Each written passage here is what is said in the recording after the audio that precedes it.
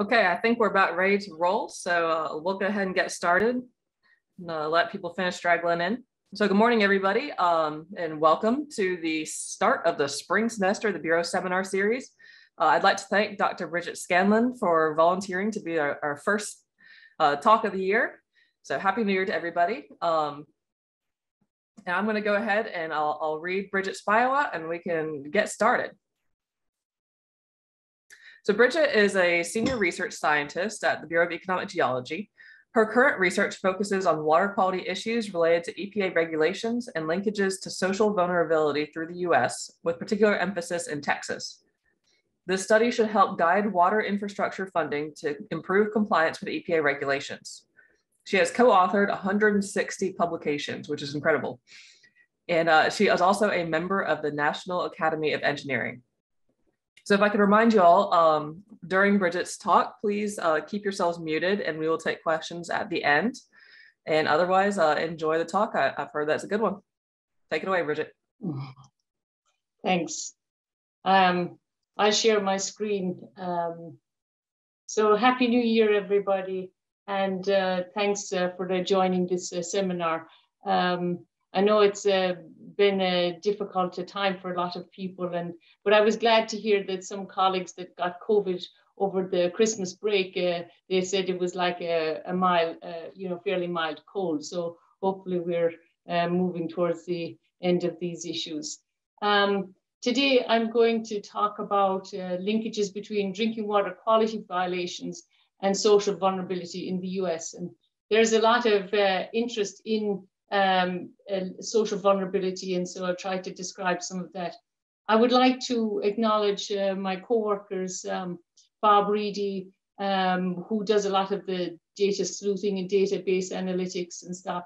Uh, Sarah Fakhreddine, who is a postdoc in our group with a PhD from Stanford, who's a, a geochemist, and uh, Qian Yang, uh, who does data analytics. And um, uh, is just a marvelous uh, person um, currently doing a master's through uh, Georgia Tech uh, on uh, data analytics. Um, the funding for this study was provided by uh, TCEQ and originated in EPA Region 6, and we're very grateful for the support.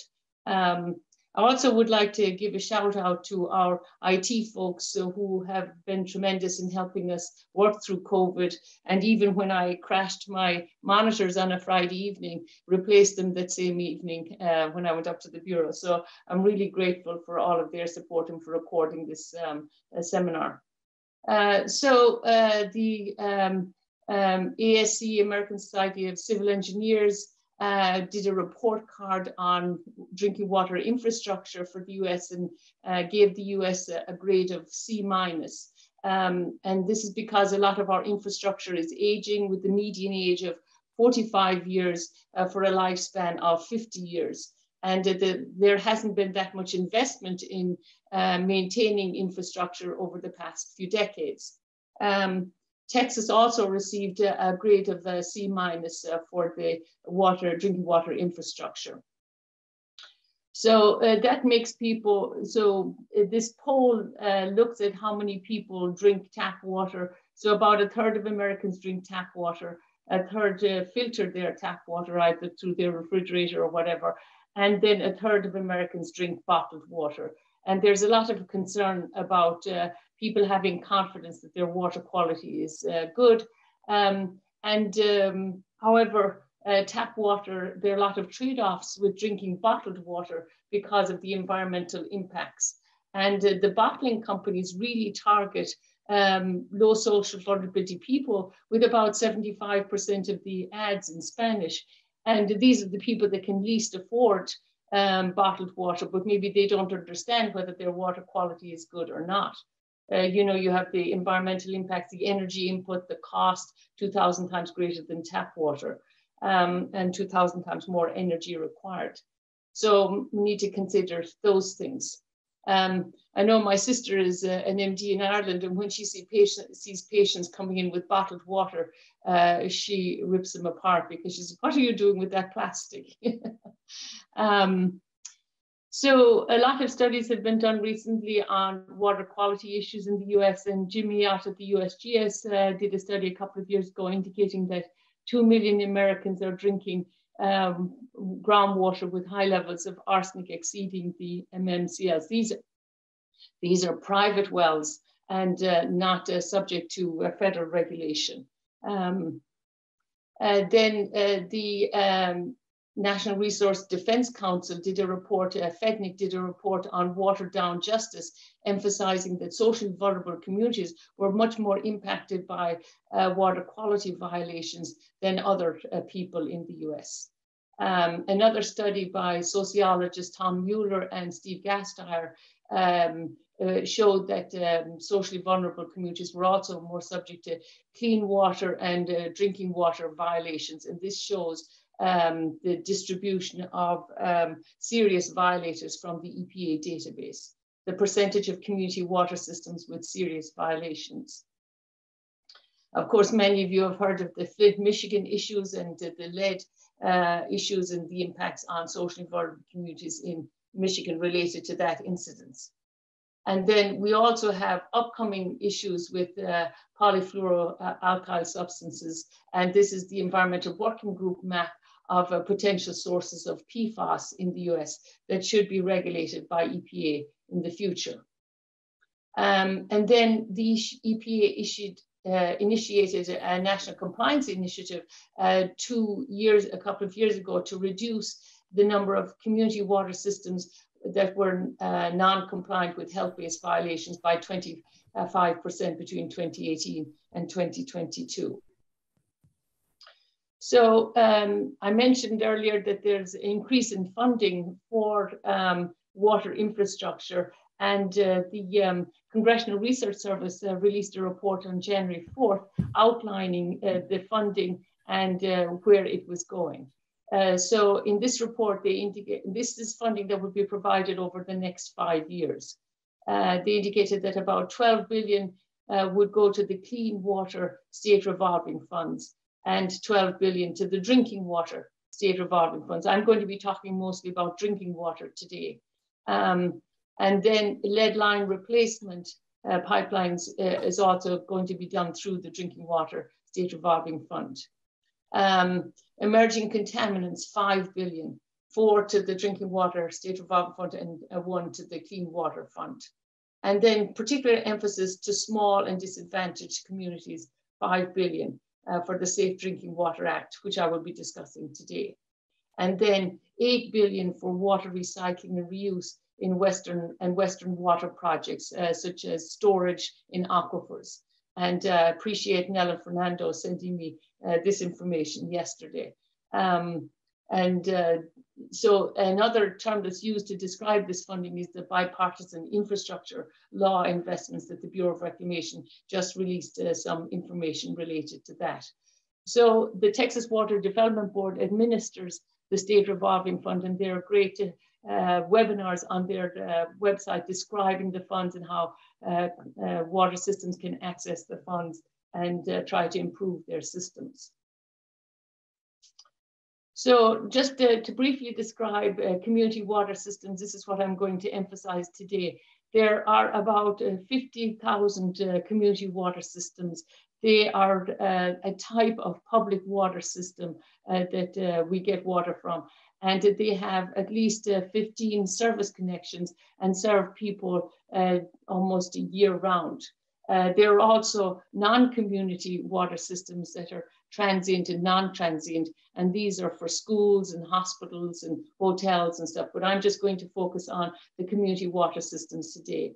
Um, there are a total of 150,000 uh, public water systems, so community water systems make up a third of those, but they serve about more than 95% of the US population.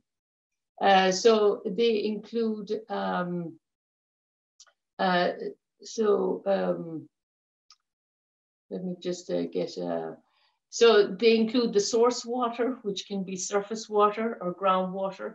Then oftentimes they have a treatment system uh, and then the distribution system.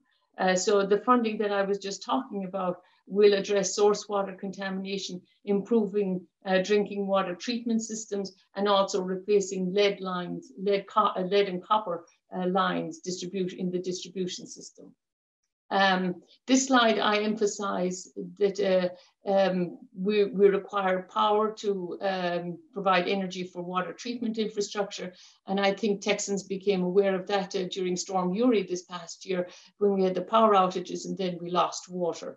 Um, and then uh, this is uh, the output from uh, these uh, systems then uh, goes through wastewater treatment plants and uh, then that can feed back into the source water. So all of these things are connected and it is important to have a holistic approach to these things. Michael Young attended a conference recently with the US Water Alliance, and they emphasize one water, which uh, considers all of these components of the system and um, stormwater treatment and uh, wastewater treatment. And, um, you know, uh, and Austin, uh, City of Austin has a, a holistic approach uh, to this also. Um, so I'm going to try to address uh, three basic questions in this presentation. So how do Safe Drinking Water Act violations vary spatially in the US? The EPA um, uh, passed into law the uh, Safe Drinking Water Act in the mid 70s and amended it in the mid 80s and the mid 90s. So this is the act that, uh, that controls the quality of uh, drinking water in public water systems. Um, and then uh, want to look at uh, the linkage uh, between socially vulnerable populations and Safe Drinking Water Act violations. Um, and then lastly, then with the increased funding by about a factor of six for the uh, state revolving funds, um, how can we optimize the use of these funds to make these systems more resilient and reduce uh, Safe Drinking Water Act violations? So, um, so this is the, the approach we used and um, um, Bob Reedy did an excellent job of analyzing the data. So we're uh, fortunate to have an excellent database from the EPA, the Safe Drinking Water Information System, county level data on community water system violations. And we looked at any health-based violations inorganics, including arsenic, radionitrate, uh, uh, fluoride, radionuclides, disinfectants and disinfection byproducts. When we treat water, uh, we can also create violations uh, from the disinfectants uh, and disinfectant byproducts in the water. Um, and then um, we, most of our regulations are based on maximum contaminant levels, so threshold levels, for example, 10 micrograms per liter arsenic in the water uh, that's allowed, or 10 parts per million of nitrate.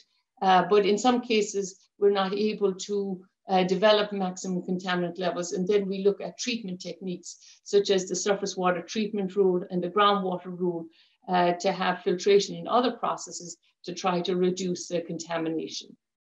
Um, with increasing uh, climate extremes, floods and droughts, then uh, that can add additional hazards to uh, community water systems that we need to be aware of and that EPA emphasizes. Um, we look at social vulnerability parameters then, and these are subdivided into four themes. Um, the first is uh, socioeconomic, poverty, unemployment, income and education, and then socio-demographic, young and old people, people with disabilities and single parent households. Then there's race and uh, poor English speaking, and then housing and uh, transport. Uh, so we looked at, used all of these data then and the methods that we applied, uh, spatial analysis using GIS mapping and uh, choropleth maps uh, that I will show shortly on safe populations exposed to Safe Drinking Water Act violations by county over the con contiguous US. The temporal analysis, we looked at the persistence of um, water violations over time using the last three years of data when the, uh, when the regulations were fairly stable.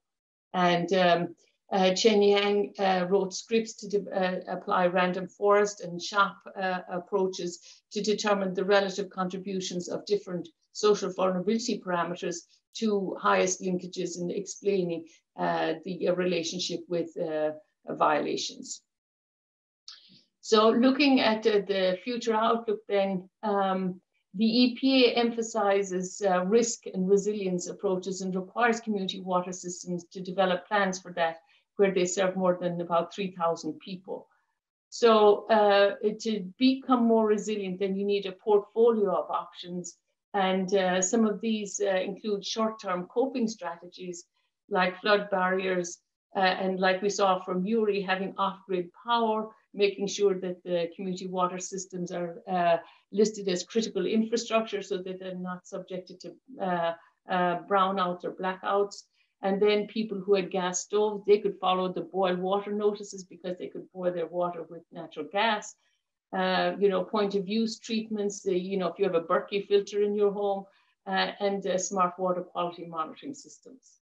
Uh, longer term adaptation strategies then um, focus on merging systems that are non-compliant with nearby systems that are compliant, so consolidating systems, uh, upgrades to water treatment plants, um, enhancing uh, technical, managerial, financial capacity, um, uh, looking at uh, treatment requirements and uh, future requirements related to climate extremes, climate change, uh, new regulations, for example, for PFAS or other contaminants and uh, different treatment options and funding those.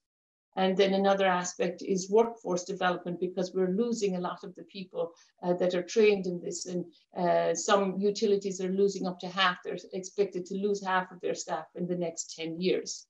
Um, so I thought, you know, we uh, submitted a paper uh, to uh, a journal recently and uh, came back and said, nothing new, nothing interesting, thank you very much.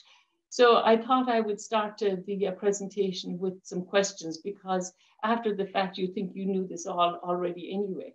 So um, uh, if you are not multitasking and looking at your email, maybe you can record what you think is the right answer to these uh, questions on a piece of paper. If I was more sophisticated, I would have organized this very early, early on, but I only developed this this morning. Um, so what is the dominant source of drinking water quality violations in community water systems in the US?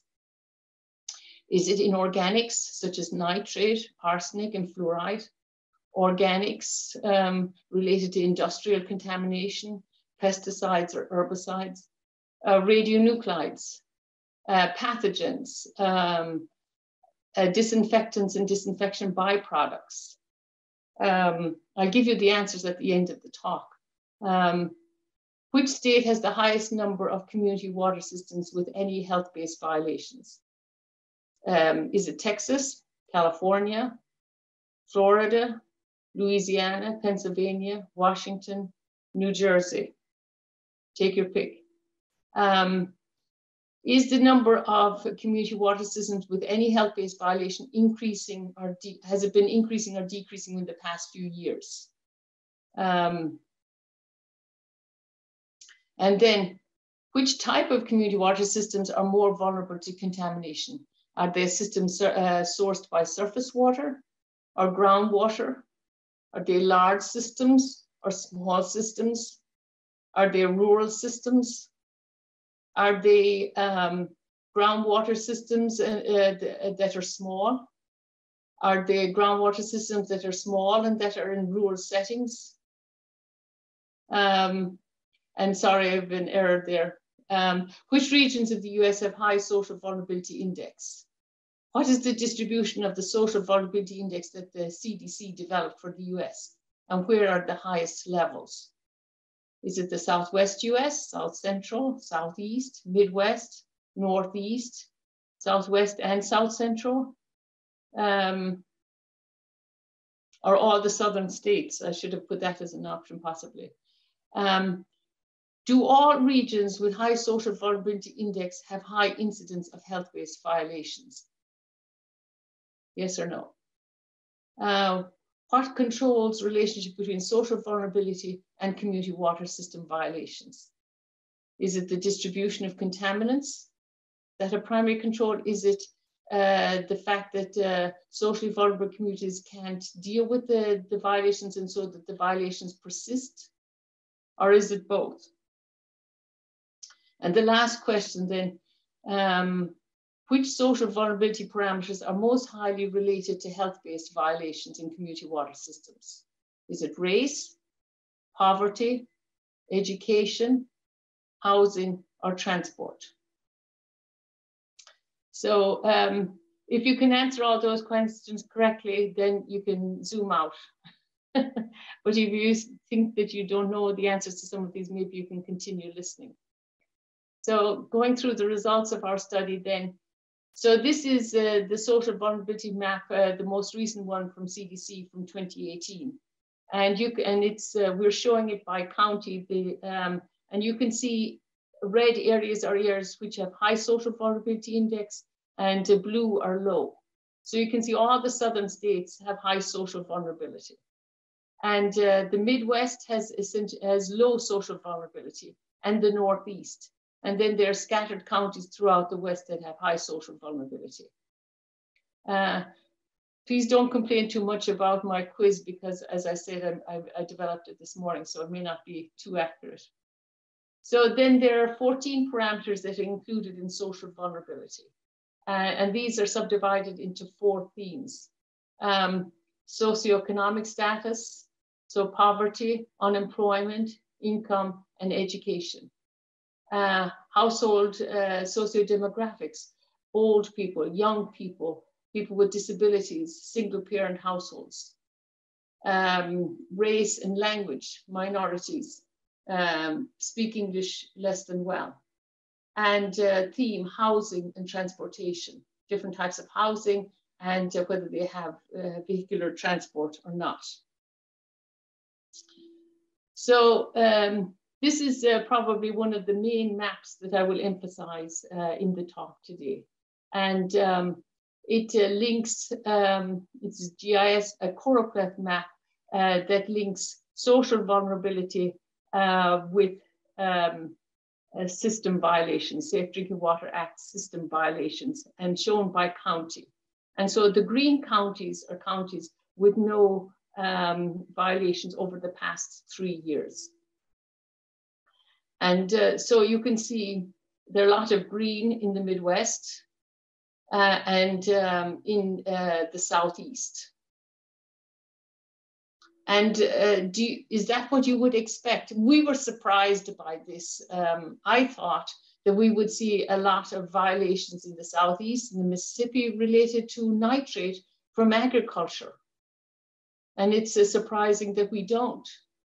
But that nitrate is denitrified and reduced. Uh, and so we don't see it in the groundwater.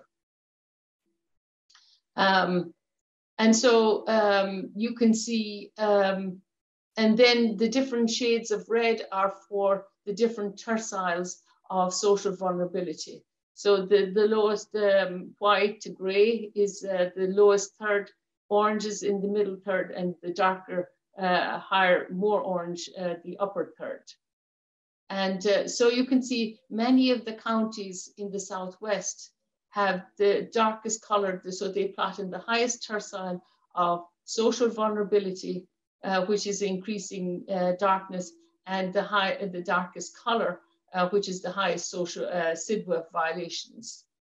And these are the populations in the counties impacted by SDWA violations and linkage to social vulnerability. So you can see uh, California, Arizona, New Mexico, uh, many counties within Texas. Louisiana is almost all plotting in that uh, upper uh, um, region here, and Oklahoma. Um, and then many counties in the Northeast also have high SDWA violations but they have low social vulnerability. Um, so they show in the orange color. Um, and so um, then here we show the populations impacted. So these are the populations with no um, uh, system violations for those counties uh, throughout the US. And then, um, so for example, uh, 12 million people uh, are plot on the um, have the high plot on the upper third of system violations and highest social vulnerability index. So about one in 10 people are exposed to a health-based violation. So that's any violation. Uh, that includes inorganics, RADs, uh, everything. So about 12 million people are exposed to any health-based violation um, uh, uh within the past uh, three years. And then when you look at the lowest one, 0.07 million people, so about 100 times more uh, socially vulnerable people are exposed in the highest uh, quarter. So socially vulnerable, um, social uh, vulnerability is important in explaining the distribution of um, health-based violations. So if we look at uh, the direct spatial relationship then between violations in the y-axis and social vulnerability in the x-axis. So we see in the uh, Midwest, we have low social vulnerability and low violations. So a lot of green and um, um, there. And in uh, the uh, Southwest and South Central US, we have high social vulnerability and high system violations. So if that was uh, the, the only case, then we would say there was a high relationship between uh, social vulnerability and uh, violations.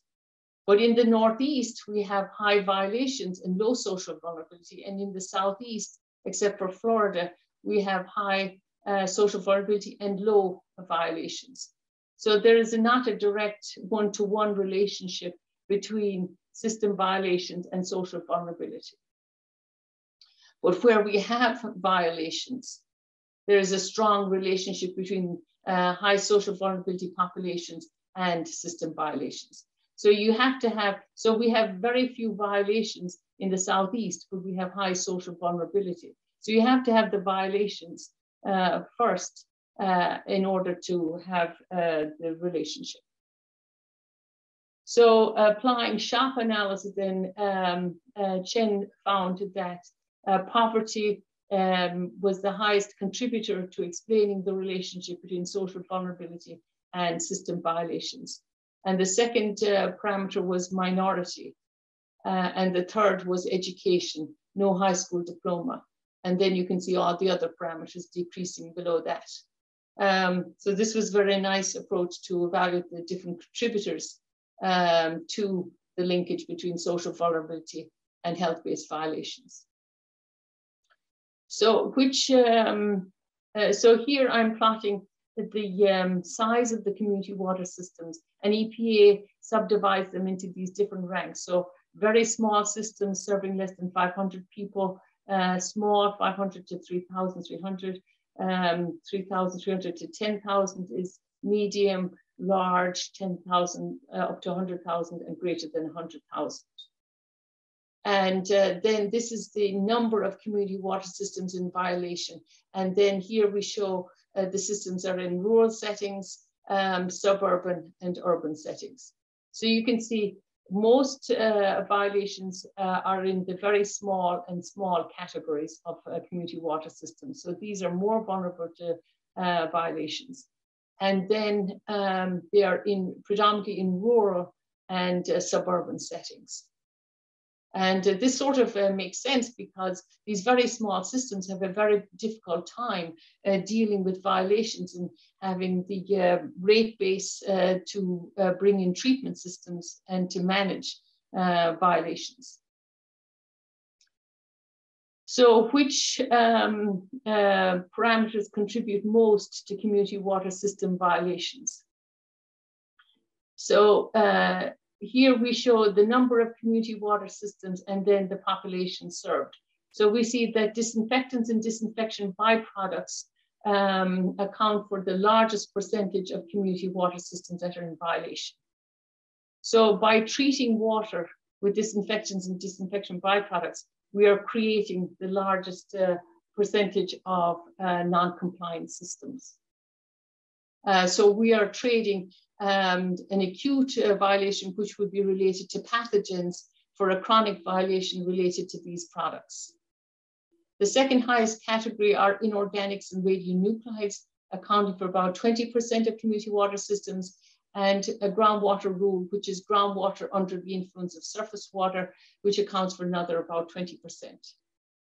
The revised total coliform rule accounts for 15% of system violations, surface water treatment rule 10%, lead and copper 7%, and organics 0.5%. it's interesting to me that uh, EPA about they, they regulate 91 contaminants, 53 of them are organics, but they account for the smallest percentage of community water systems that are violated.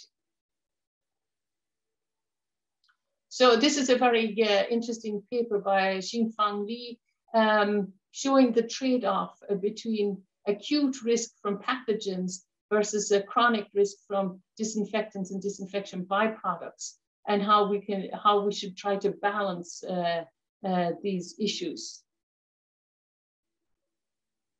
So because uh, DBPR or disinfection byproduct rule violations are the largest contributor, I'm showing these next. So you can see the highest concentration of DBPR violations in the South Central US. And this is partly related to climate and requiring more residual chlorine to be retained uh, in the water. Um, and uh, you can see Oklahoma and uh, Louisiana and East uh, Texas um, and many states in Arkansas and extending into the Northeast Kentucky and, uh, but, uh, and those states to the mid-Atlantic states.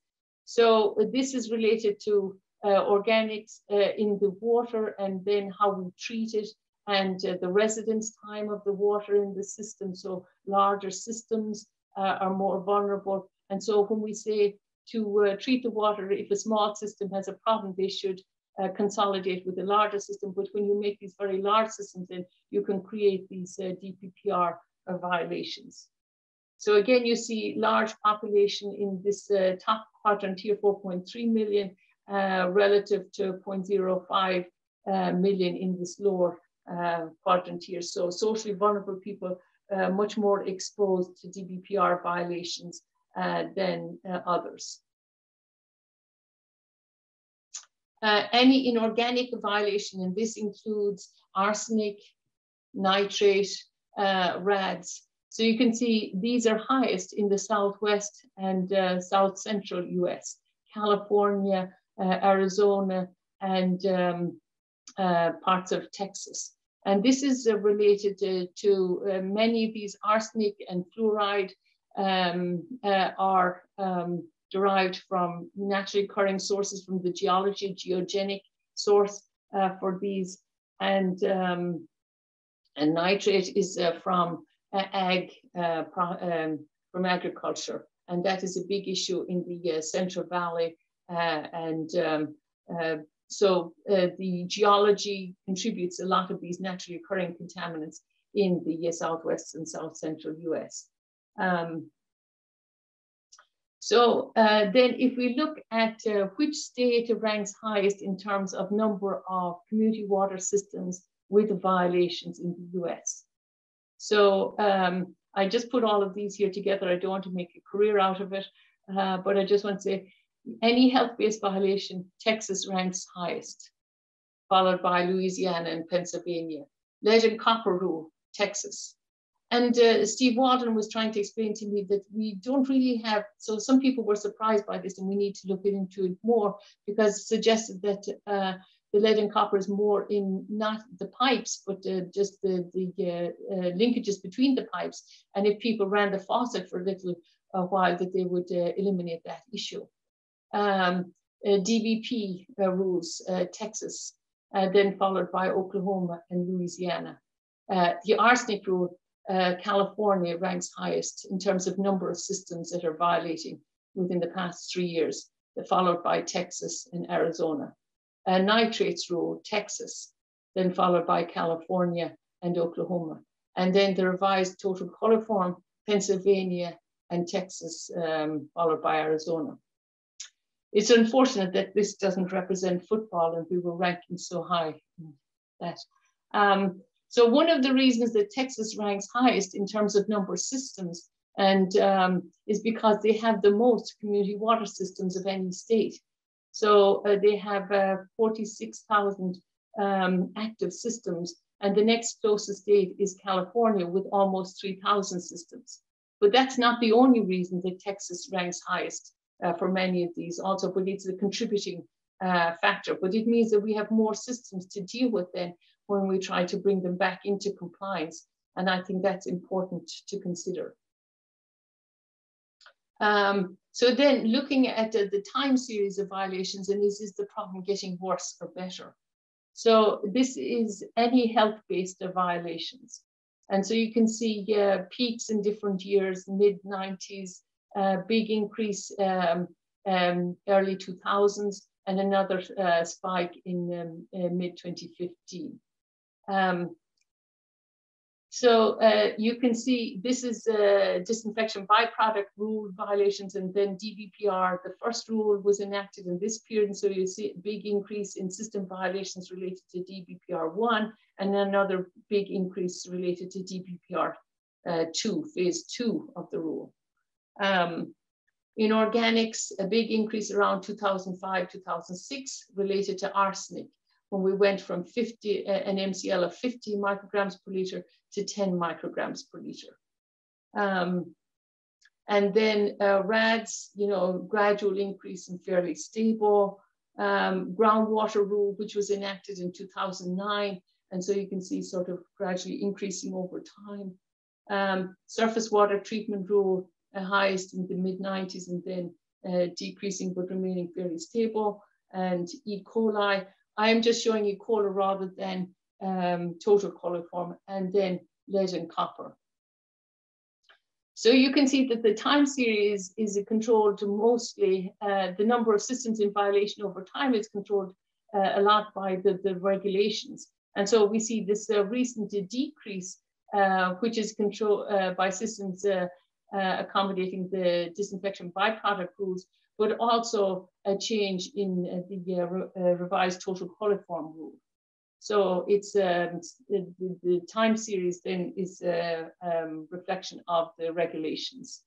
So here you can see the arsenic and the big increase, uh, but we still have a lot of systems that are not compliant in terms of arsenic violations um, in the US. Um, so many come into compliance over time, uh, develop treatment techniques. And one of the reasons for this is arsenic is coming from the geology and it's pervasive. And so it's not, you can't just drill another well and, and avoid it or drill a deeper well because um, the, um, it's uh, throughout the region. Uh, it's interesting to see that, uh, you know, there's a big increase in nitrate in the um, uh, violations in the early 90s, but it has remained fairly stable, which suggests that we're not really getting a good handle on nitrate uh, in groundwater systems, uh, fluoride and others.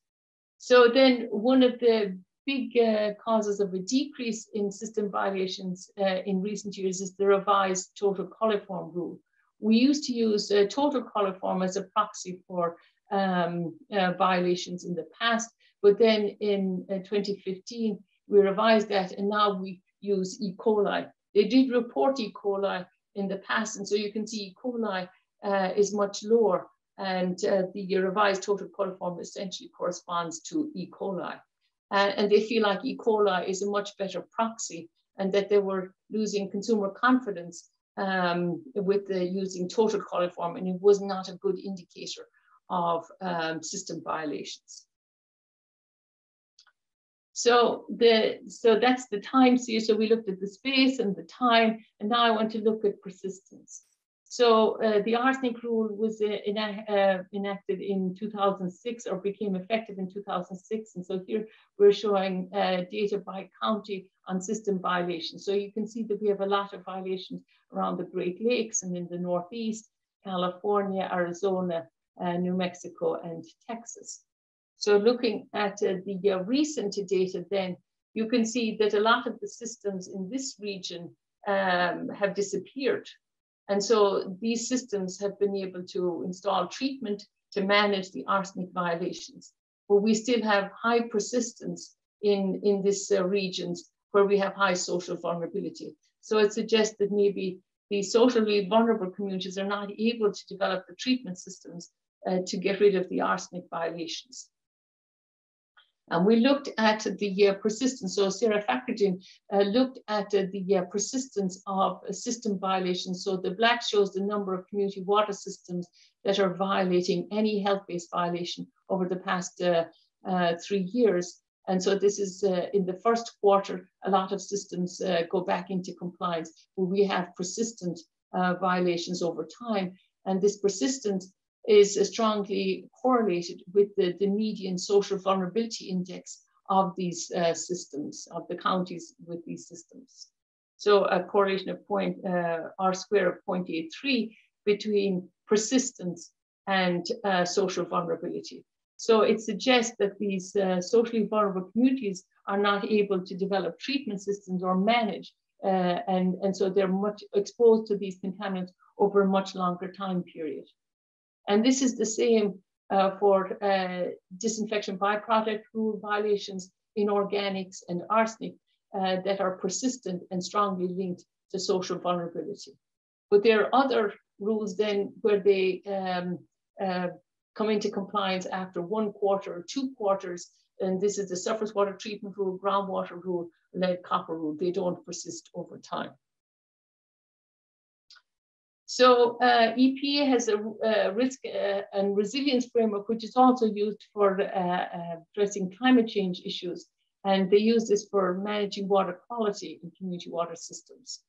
So if we look at uh, the risk issues, which is the vulnerability of the systems um, and their system weaknesses. So we the hazards that we uh, have to consider are we saw um, geochemistry, uh, we saw um, geogenic contamination, arsenic, uh, RADS.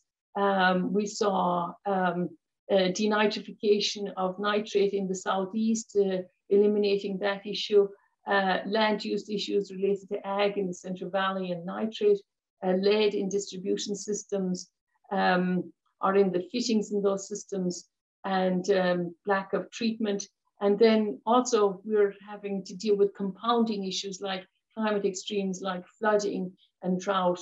And uh, so, for example, in the Central Valley, they see three times higher nitrate during drought than they do in other regions. And I just pop into the uh, next slide and go back to that previous slide. We here we are plotting the social uh, vulnerability and the um, uh, Safe Drinking Water Act violations in the background, and then showing the map of flood exposure 100 year flood. And so you can see along all these coastal uh, regions in up the Mississippi and in Florida and the Central Valley, there is a coincidence then between uh, flood exposure and um, system violations and high social vulnerability.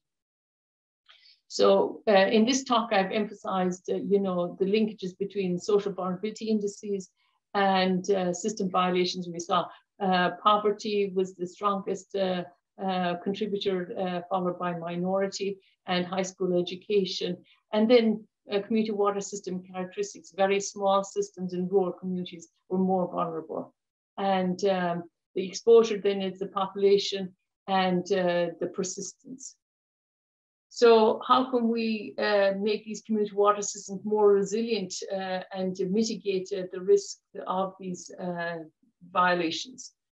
So we subdivided this into short-term coping strategies and long-term adaptation. So uh, oftentimes we have boil water notices uh, um, or uh, ask people, communities to use bottled water. Um, if people have point of use treatment systems like a Berkeley filter or whatever, then uh, maybe they can handle some issues. Uh, because not all contaminants are with the, are regulated by EPA um, so there are other organics and other things that can be in the water uh, that are not listed in EPA.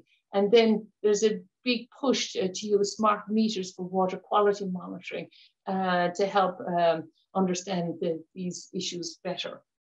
Long-term adaptation strategies. Um, uh, there's a lot of emphasis in consolidating systems and, smaller systems linking up uh, to larger systems. So Steve Walden contacted me over the holidays because Fredericksburg had some uh, small systems with you know 19 or 20 connections that had nitrate issues. And uh, I hope that in the long term they would connect with the city of Fredericksburg, but in the meantime they need to uh, try to address the nitrate and he thinks it's related to septic tanks and shallow wells.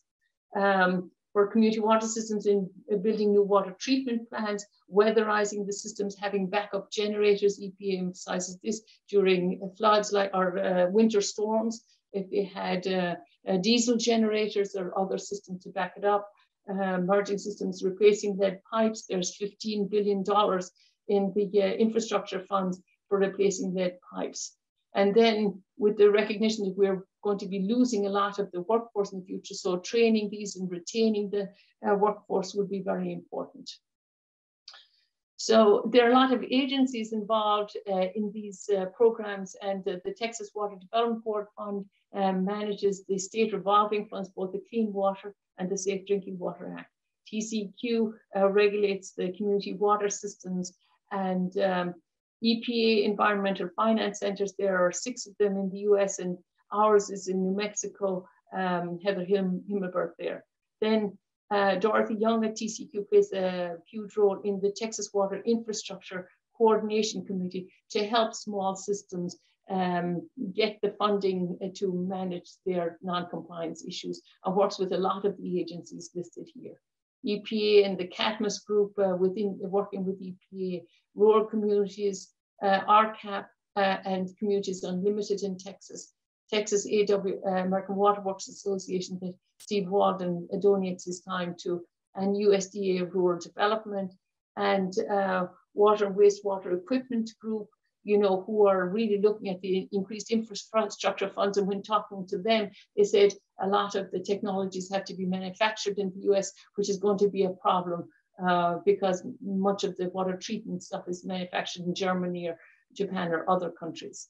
Uh, the Association of State Drinking Water Administrators, which I think TCEQ um, is uh, involved with, and uh, National Rural Water Association. So a lot of groups, uh, a lot of different sources, but for a small system with very little technical staff or no technical staff, it's really a big uh, hurdle, a big challenge uh, to get into compliance and to understand how to work the system. So to summarize then, how do Safe Drinking Water Act violations vary spatially? So we see a lot of health-based violations in the Southwest and South Central and Northeast US related to uh, naturally occurring contaminants, arsenic and radionuclides, and also uh, nitrate uh, in the Southwest related to ag. Um, disinfections and disinfection byproducts uh, concentrated in South Central US and extending into the Northeast. Socially vulnerable populations, so in, in the US, one in 10 people are exposed to a health-based violation within the past three years. So that's 10% of the population. Um, populations in high social vulnerability category are 100 times more, have 100 times more exposure to health-based violations than those in the lowest category. Um, and social vulnerability is linked to persistence of violations and indicates that uh, these uh, communities uh, cannot uh, uh, develop uh, approaches to manage uh, the um, violations. And then optimizing infrastructure funding and developing a roadmap for this. I think uh, I just talked about short-term strategies and long-term adaptation strategies. And the California SAFER program can uh, provide a template for some of these ideas. Um, so these are the answers to the uh, quiz and let me know how you did. And if you have, and maybe I've gotten some of them uh, wrong myself, or if you have any ideas. So I would like to thank the TCEQ and EPA for funding and allowing us to conduct this work and would be glad to answer any questions.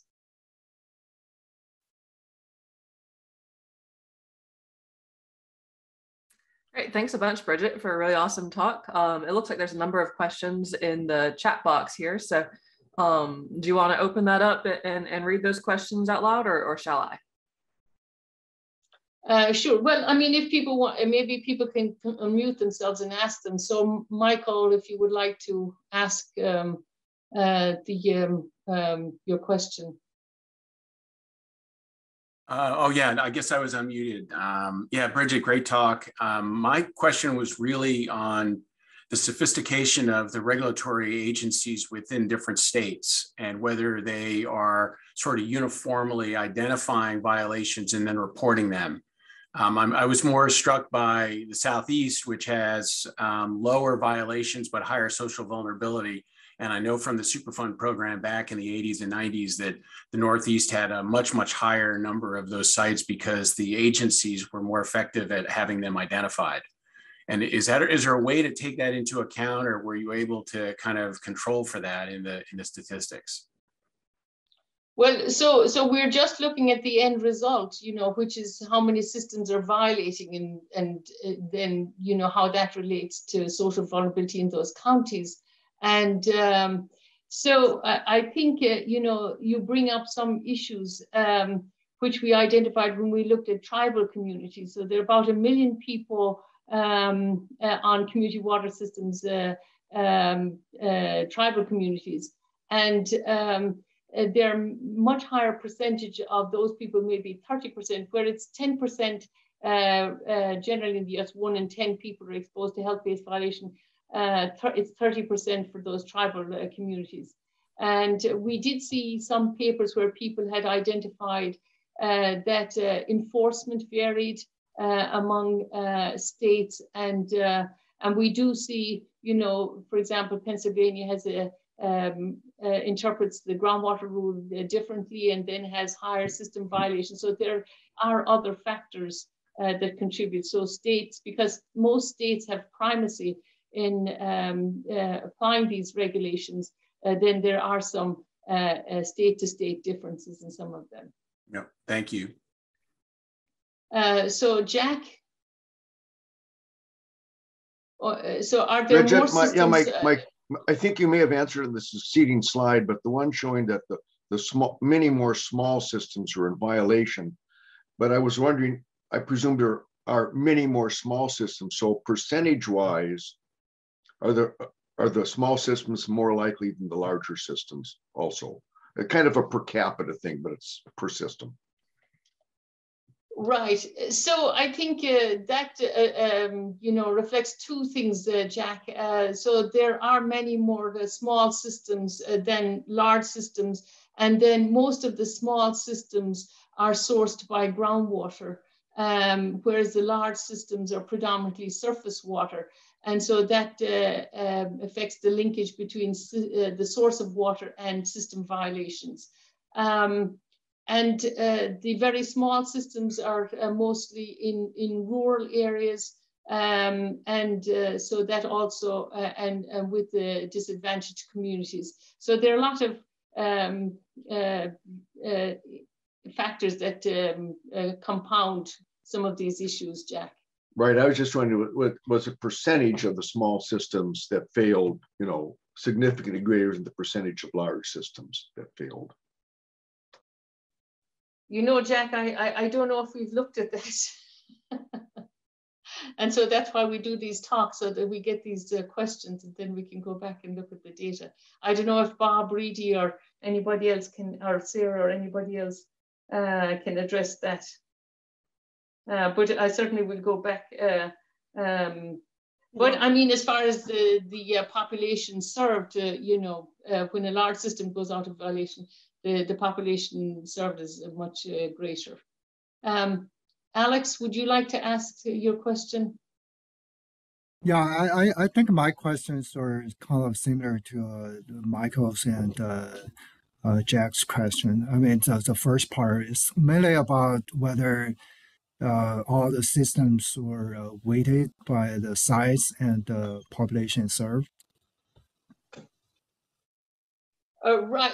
Uh, no. Um, and um, uh, getting back to what Michael was asking too, I mean, um, the number of site visits. So EPA has a dashboard and it tries to improve transparency and stuff. And so uh, they indicate a number of site visits and stuff like that. And I know Steve Walden has been working with uh, small systems in Texas and uh, finds that sometimes maybe some systems have been have not had site visits in, in several years. So, uh, and with workforce issues in COVID, it's probably gone off the scale.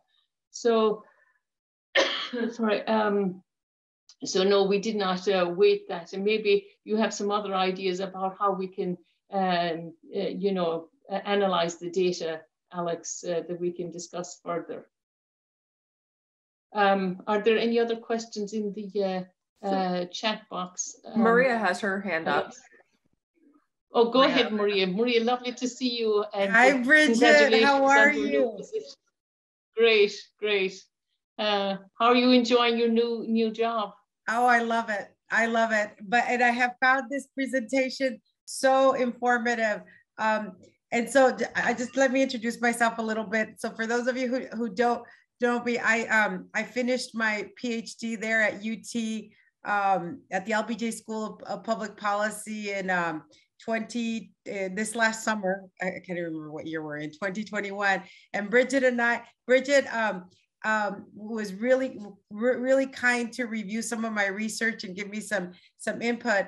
And actually, Bridget, my uh, paper got published. So I'll send you the link for that but but um, now I'm actually the um, the commissioner for the International Boundary and Water Commission, and so um, I, found this really interesting. Uh, every uh, especially the information that you had on the Social Vulnerability Index. I, I plan on using that because I'm trying to advocate for more funding to be brought to these vulnerable communities along the the U.S. Mexico border. But I, I do, based on my experience, I, I do have two things I wanted to comment on with regards to that and that's based on my research that I did for my dissertation, was when when I was I, my my dissertation focused on research on, on, the colonias, right, right along the Texas border. So these are the ones that have that that small rural that small that vulnerability index. And one of the analysis that I did was I looked at population growth. And so typical design criteria requires you to, when you're building a system or you're, you're is that you take into account growth. But many of these, these small community systems are not growing. In fact, they're getting smaller, right? And so when it came to wastewater systems were implemented, many of them had um, oversized systems. So one of the things that I, I think is really important that is, as some of these um, um, issues are addressed, that you can't look at the typical design standards that are used for sizing because one of the things that constantly came up in the interviews that I did, I did about 100, I, I interviewed about 70 uh, water, water system, water utilities. And one thing that really came up on a regular basis was that they were having issues with aged water in their system because they did not have the population to circulate the water appropriate. And so they were having to flush their system because the water was becoming stagnant within it, right? So that was one of the issues that came up on a regular basis. This is just something you you that that that that because of the interviews you discover that, right? And and I and I'm sure that affects some of the water quality um, issues that are going on. And then the, the other thing that I found is, is that even though there are these grant funds that come in and they help them implement these, these systems, there's really no small programs to help the small communities. And a lot of them require, all of the programs that are out there seem to require bonding, um, going out and getting bonds, um, going out and, and these big um, efforts to try and and um, and grant grant application processes. So the small community systems don't really have the institutional capacity to leverage those funds, and much less to go issue bonds. So you know, the, there these are really big hurdles for community systems to overcome. Is that in lack of institutional capacity to address these issues? Not only do they not have the the user base to sustain you know any sort of debt financing but they don't have the capacity in house um, and before texas used to have an ombudsman program that would go out and help these communities you know and and they eliminated that program. So unfortunately these these communities lost that access. So it's not just about having the programs. It's not just about um, you know you know bringing them to the to the well to drink but you have to teach them to drink right? In the sense that you have to work with them and help them. I know communities unlimited somehow uh, plays that role but i don't know what their funding is or, or if there's a good strategy for addressing the small community systems. So i just thought i i, I throw that in. I'm not sure if that's helpful or not helpful. Well, no, that that's huge, and, and I, I do understand, you know, that they need some hand holding, and and and and there's oftentimes money left on the table in the past because the right. system can't uh, access it, and um, uh, with the state revolving funds, which is getting most of the funding, they require financial, managerial, and technical pro- uh, these small systems to have all of right. that, and and many of them don't. So I think we have to look at some new areas. And uh, I look forward to reading your paper and uh, to being in touch. So thank you so much for joining thank us. Thank you, Bridget. Um, thank you for letting me know about so, this. um, we also have a hand up for Janelle Crane. And Uh, this, I think, will no- be, uh, Janelle, this will be the last question, just to let you know, Bridget, and then we'll be out of town, out of time. Okay. Yeah, it's kind of along the same lines as um, a few of the other um, comments earlier about um, uh, which public water systems have violations in primacy agencies. So I know that, um, you know, in Texas, there's, you know, a robust primacy program over the drinking water um, systems. Um, and there's very little monitoring and reporting violations so that um, the water systems are reporting their sample results to the state at a high level. So the monitoring reporting violations, so that's the opposite side. So there's others, there's systems that are not submitting their data or their samples to the state primacy agencies. So I'm wondering if you could incorporate that into this also. So, you know, here in Texas, we have, you know, very little monitoring reporting violations for the organics, inorganics, um, radionuclides, um, because that, that data is coming to the state on a regular basis. But other states don't have that. They're getting, they're not getting any data, so they don't know what's going on in their public water system. So it would be interesting to know across the United States that information also in here, because with the Safe Drinking Water Act um, uh, framework, you know, people know that they have monitor or they have violations. So they know that they have high arsenic. They know that they have, um, or the, uh, let me re- re- rephrase this. The public water systems are required to tell their public that they have these issues. So, you know, these communities in Texas um, and California and Oklahoma and stuff are getting these public notices. Hey, their drinking water, you know, there is issues in these certain circumstances. And so that raises that public awareness so that maybe people are willing to do something, willing to pay more money for their water um, to raise those rates so that they can get. But many of these other systems across the United States that don't have that robust primacy program may not even know that they have the health-based violations. They don't even know. So I think it- Right, and, and that, yeah, that, that's an excellent point, Janelle. And we do have the data on monitoring and reporting violations. And we can see then if there's a relationship between that and, and the system violations and try to tease that out. So excellent. And uh, we have the data, and we just haven't looked at it in that way, but we, we can readily do that. Uh, Yeah. So thanks everybody for uh, joining today and hope 2022 will be good and that you all stay healthy. And thanks Kelly uh, and Dina and others for organizing this. So Thank you again, Bridget, for a great talk. And uh, I hope that everybody else found it as informative as I did. And just as a reminder, um, so this was the first talk of our spring uh, semester of the Bureau Seminar Series. And uh, next week on January 14th, uh, Buddy Price will be giving a talk on his work in the Permian Basin. So I'll see you guys then. Thanks very much. thank you.